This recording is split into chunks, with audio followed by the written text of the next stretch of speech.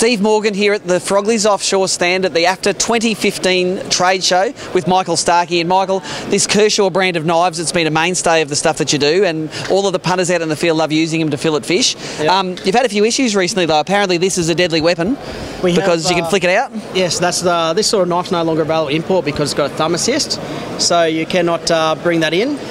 So But, but this one, this isn't a weapon.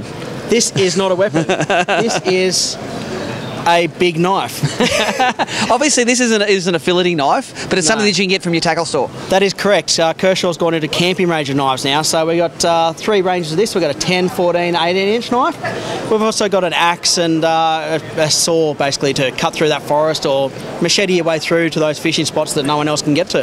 That's right. It's a, it's a serious pitty kit. I'm sure we're not going to use that. That's not a knife. This is a knife saying on this thing.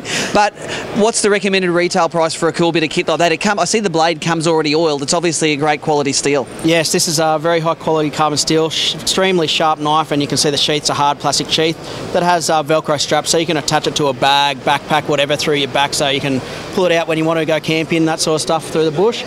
And uh, that one retails for 180 bucks. There you go. For 180 bucks, you can get yourself the next essential fishing tool.